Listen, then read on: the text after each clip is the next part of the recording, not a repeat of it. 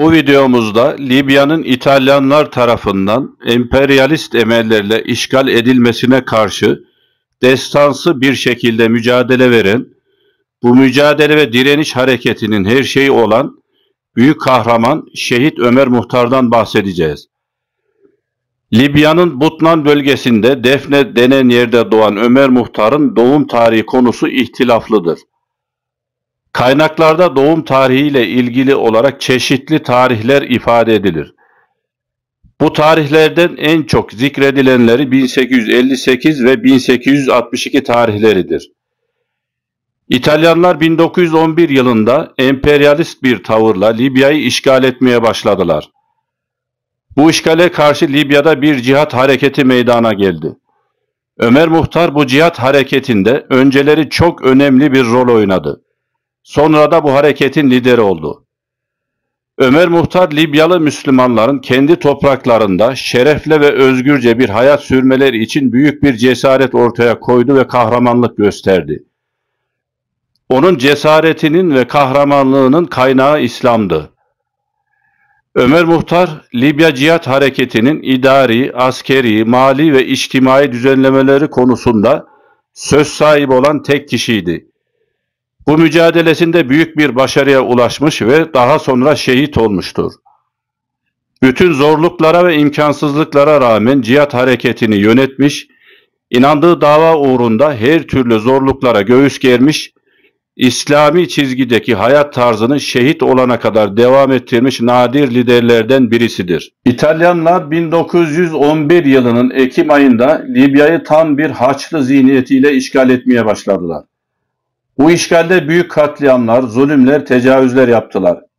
Hedefleri Libya Müslümanlarını sindirip korkutarak bölgeyi emperyalist emellerine uygun olarak ele geçirmekti. Ömer Muhtar, İtalyanlara karşı başlatılan direniş hareketinin başından sonuna kadar içinde bulundu. Bir gün bile olsa bu mücadeleden başka, cihattan başka hiçbir şeyle meşgul olmadı. Ömer Muhtar Bizim Allah ve vatanımızın düşmanlarıyla savaşmaktan başka hiçbir şeye ihtiyacımız yoktur anlayışında olan ve bu anlayışını da fiili olarak mücadelesine yansıtan bir mücahittir. İtalya'da iktidara gelen faşist idare Libya'ya karşı kesin ve sonuç alacak bir şekilde hareket etmeye karar verir. Bu karar karşısında mücahitlerde direnişlerine ya zafer ya şehadet anlayışıyla daha sıkı bir azim ve imanla bağlanırlar. Direniş hareketinin devam edebilmesi için mücahitlerin askeri ve ekonomik yardımlara ihtiyacı vardır. Ömer Muhtar bu yardımları tedarik etmek için Mısır'a gitmeye karar verir. Mücahitlere çeşitli yollardan yardım gelmektedir ama bu yardımlar İtalya gibi bir devlete karşı koymak için yeterli değildir. Mısır'a tatmin edecek bir yardım bulma düşüncesiyle giden Ömer Muhtar, Buradan çok küçük yardımlar dışında neredeyse eli boş döner. Ömer Muhtar'ın Mısır'a gittiğini öğrenen İtalyanlar onunla görüşmek ve onu bu mücadeleden vazgeçirip barış yapmaya ikna etmek için ajanlarını Mısır'a gönderirler. Ömer Muhtar'la Mısır'da görüşürler. Ondan mücadeleden vazgeçmesini, Mısır'da ikamet ederek Libya'ya geri dönmemesini veyahut teslim olmasını isterler. Buna karşılık da cazip şartlarda maddi imkanlar ve Bingazi'de en lüks yerde mükemmel bir köşk vermeyi teklif ederler. 20 yıl kadar dağlarda, çadırlarda aç ve susuz sabahlayan ve bu süre içinde silahını elinden düşürmeyen Ömer Muhtar bu teklife şu tarihi cevabı verir. Ben her isteyenin böyle kolayca yutacağı bir lokma değilim beni imanın, inancım ve cihadımdan alıkoymaya kalkışacak herkesi Cenab-ı Hak eli boş olarak yüzüstü bırakacaktır. Ömer Muhtar'a ilerleyen zamanlarda da bu mücadeleyi bırakması için yine teklifler geldi. Onları da kabul etmedi. Ömer Muhtar mücadelesini çok zor şartlar altında devam ettiriyordu. Bu mücadeledeki en zor şartlardan birisi de kabileler arasında zaman zaman ortaya çıkan ihtilaflar, görüş ayrılıklarıydı. O bütün bunların üstesinden geliyordu. Mücahitlerin İtalyanları perişan ettikleri bir savaştan sonra mücahitlerde düşmanlarının son model silah, tank ve uçakları karşısında büyük kayıplar vermişlerdi. Bu durumu gören bazı kabileler İtalyanların bu saldırılarına karşı dayanamayacaklarını ifade etmeye başladılar. Bu kabile reisleri Ömer Muhtar'a İtalyanlara teslim olmasını söylediler. Bölgelerinden cephesini alıp çekip gitmesini istediler. Buna uymadığı takdirde kendisiyle savaşacaklarını bildirdiler. Bu teslim teklifini ve tehdidini alan Ömer Muhtar hemen kabile reisleriyle geniş çaplı bir toplantı düzenledi. Bu toplantıda çeşitli şekillerde teslim olma görüşleri dile getirildi. Burada ortaya konan çözüm önerileri cihat hareketini sıkıntıya sokacak tekliflerdi. Buna dayanamayan Ömer Muhtar her zamanki kararlı ve İslami tavrını ortaya koydu. Cebinde sürekli olarak taşıdığı küçük Kur'an-ı Kerim'ini çıkartarak elini Mushaf'ın üstüne bastı ve şöyle konuştu. Vallahi ya zafer ya şehadete ermeden bu dağları terk etmeyeceğim. İtalyanlara karşı devam eden bu savaşı durdurmayacağım. Mısır'a gitmek isteyenler buyurup gitsinler. İtalyanlara da teslim olup ölümden kurtulmak isteyenler buyurup teslim olsunlar. Hiç kimse onları tutmuş değildir. Ömer Muhtar'ın kesin tavrını ve büyük savaş azmini gören mücahitler teslim olma görüşlerini bırakıp onu desteklediklerini ilan ettiler. Toplantı birlik içinde sona erdi. İtalyanlar nifak sokma, mücahitleri birbirine düşürme politikalarından vazgeçmiyorlardı. Sık sık bu yola başvurarak Ömer Muhtar'a barış teklifleri yapmaktaydılar. Amaçları cihat hareketini nifakla sekteye uğratarak mücahitler arasında iç çatışma çıkarmaktı. Zaman zaman da bunda başarılı olmuşlardır. Bunlardan birinde bir grup mücahitle direnişin lideri Ömer Muhtar arasına ihtilaf, görüş ayrılıkları sokmayı başardılar. Mücahitler iki grup ayrıldılar. Bir grup İtalyanlardan hediye ismi altında bir miktar yardım alarak barışın yapılması görüşünü savunmaya başladı. Ömer Muhtar'ın liderliğindeki grup ise İtalya'yı asla taraf olarak kabul etmiyor ve düşman ile görüşme masasına oturmayı düşünmüyor, hangi şartlarda olursa olsun mücadeleye devam edilmesi fikrini taşıyorlardı. Böyle bir ayrılığın ortaya çıkması üzerine Ekim 1929 tarihinde Ömer Muhtar şu meşhur beyanatını yayınladı. Şu husus iyice bilinsin ki herhangi bir mücahit İtalya'ya boyun eğip de onunla anlaşmayı kabul ederse böyle bir kişi bu davranışıyla aramızda fitne tohumlarını saçmış, saflarımızı dağıtmış ve birliğimizi sarsmış olur. O zaman da İtalya rahatlıkla bize galip gelerek bütün meşru haklarımızı elimizden alacaktır. Bu teşebbüs daha evvel girişilen barış görüşmeleri sırasında edinilen bir tecrübeydi. Ama Allah'a binlerce şükürler olsun ki İtalya bu konuda herhangi bir şey elde edememiştir. Bizim yegane hedefimiz ve gayemiz sadece özgürlük olmalıdır.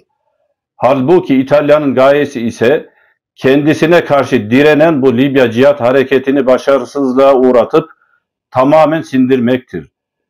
Ama bizim cihat heyecanıyla çarpan yüreklerimiz yaşadığı müddetçe İtalya bu konuda hiçbir şey yapamayacaktır. Onun için de özgürlüğümüz uğrunda bütün imkanlarımızı seferber etmeliyiz. Buna göre de İtalya ile gizli anlaşmalara girmek isteyenler bize karşı tavırlarını iyice ortaya koysunlar ki ne yapmak istediklerini anlayalım. İtalyanlar uygulamaya çalıştıkları bu fitne ve bozgunculuk programının ortaya çıkması üzerine kendileriyle anlaşma yolunu seçen mücahit grubuna karşı büyük bir saldırıya geçtiler. Mücahitlere karşı büyük bir katliama giriştiler. Mücahitlerin büyük bir kısmı telef edildi. Bu durum bütün mücahitler üzerinde büyük bir üzüntü meydana getirdi. Bazılar Ömer Muhtar'ın huzurunda gözyaşlarını tutamayıp hüngür hüngür ağladılar. Bu durumu büyük bir sabır ve metanetle karşılayan Ömer Muhtar, bu felaketten sonra şu tarihi ifadeleri kullandı. Vatanına sadık olanların en faziletlileri at sırtından inmeyip cihada devam edenlerdir. İtalyan Genel Komutanı Graziani hatırat kitabında Ömer Muhtar'ın liderliği, kahramanlığı ve şahsiyeti hakkında bilgiler verir. Graziani'nin belirttiğine göre Ömer Muhtar inancına son derece bağlı biriydi. İnancına saldırmaya kim kalkışırsa büyük bir heyecan ve azimle ona karşı koyardı. Vatanına saldıranlarla korkusuzca savaşırdı. Vatanına yapılacak herhangi bir saldırıyı karşılıksız bırakmayı kabul edecek bir şahsiyet değildi. O dinine ait hiçbir şeyi ihmal etmeyecek ve dinini herhangi bir menfaat karşılığında satmayacak bir şahsiyete sahipti. Dünyevi hiçbir menfaat peşinde değildi. Üstelik hayli fakir bir adamdı. Din ve vatan sevgisinden başka dünyalık hiçbir şeye sahip değildi. Gazeteci Muhammed Esed de bu direniş hareketinin son zamanlarında Ömer Muhtar'la görüşenlerden birisidir. İtalyanların yaptıkları bir katliamdan sonra Ömer Muhtar, Muhammed Esed'e şunları söyler. Sen de görüyorsun ya evlat, gerçekten biz bize tanınan vadenin sonuna gelmiş bulunuyoruz.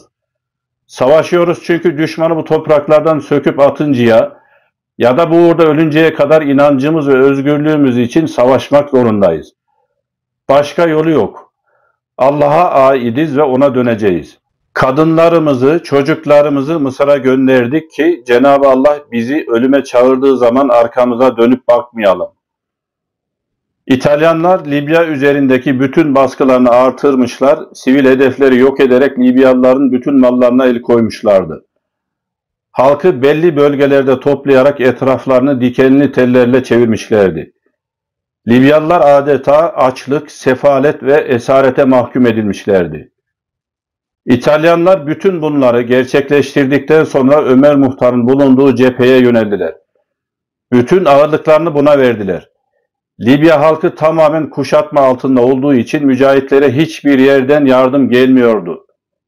Bütün bunlara, bu imkansızlıklara rağmen mücahitler, emellerin en güzeli olan Allah yolunda cihat ve ölüm için yılmadan savaşlarına devam ettiler. İşte böyle bir savaşta Ömer Muhtar kendinden kıyas kabul etmeyecek derecede üstün imkanlara sahip bulunan düşmana karşı savaşmaktaydı.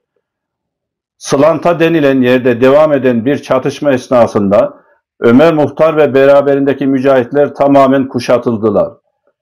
11 Eylül 1831 tarihinde büyük çoğunluğu şehit oluncaya kadar savaştılar. Ömer Muhtar bir anda yalnız başına kalmış bir durumda kalabalık bir düşman grubu tarafından kuşatıldı. Onu esir aldılar. Ömer Muhtar olduğunu anlayamadılar. Ancak kimliğini açıklayınca tutukladılar ve hapse attılar.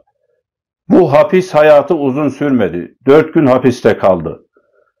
15 Eylül 1931 tarihinde İtalyan yönetimi süratli bir şekilde Ömer Muhtar'ı yargılamaya başladı. Mahkeme 1 saat 15 dakika sürdü. Mahkeme sonunda Ömer Muhtar'ın idamına karar verildi. Yargıcın idam kararına Ömer Muhtar, hüküm ve karar yalnız Allah'ındır.